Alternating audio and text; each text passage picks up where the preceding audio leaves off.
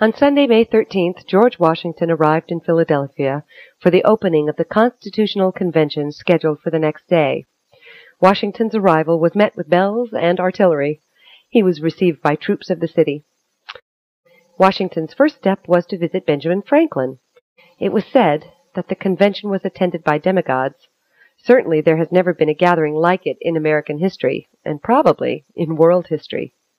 The states sent their most respected representatives. Only Rhode Island was absent when the convention finally did get under way. May 14th was scheduled for the opening of the convention. On this day, only Virginia and Pennsylvania was represented. It was a rainy week and passage to Philadelphia was very often difficult.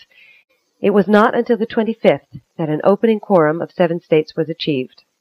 The arrival of every delegation was dutifully reported in the Philadelphia newspaper as a great affair of state. The first meeting of the convention and all of the subsequent events took place in the Philadelphia State House, the same location that the Declaration of Independence had been signed. The first act of the convention was to declare George Washington the chairman. The second, to declare that all of the deliberation was to be secret. To this all of the delegates pledged. There was no official recording secretary, but James Madison made it his task to record the debates. With Washington firmly in control, the convention got down to business. It was apparent to nearly everyone that while the convention had been called to modify the Articles of Confederation, the task before them was the establishment of a new form of government for the United States. The delegation from Virginia started the convention off with a plan for a strong central government. The Virginia plan called for a House of Representatives which would be elected by the voters of the state. The size of the House would be proportional to the size of the state. The upper house, the executive, and the judiciary were to be selected by the lower house. Furthermore, the Virginia plan called for the federal government to be allowed to negate any state laws that interfered with the federal government. The Virginia plan was fiercely opposed by those who feared a strong central government. It was further opposed by representatives of the small states who felt that the plan would give too much power to the large states. The smaller states responded with a plan of their own. Their plan, known as the New Jersey Plan, called for a legislature of one house whose members were to be selected by the state legislature. The debate went on throughout the summer. Finally, Roger Sherman of Connecticut proposed a compromise plan in which the House of Representatives would be elected directly by the people of the states. The numbers of members of the House would be proportional to the size of the state.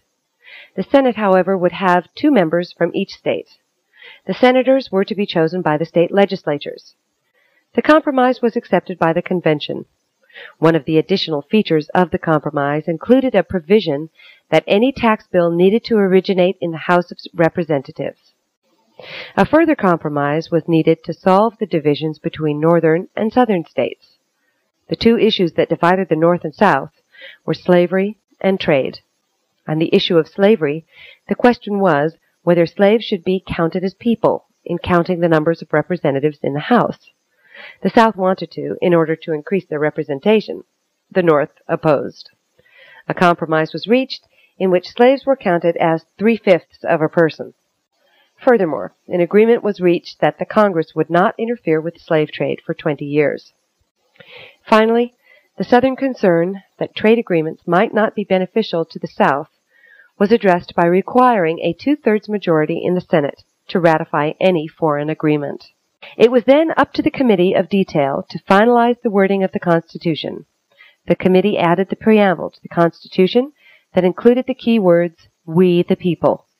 Finally, on Monday, September 17th, the completed Constitution was presented to the Convention.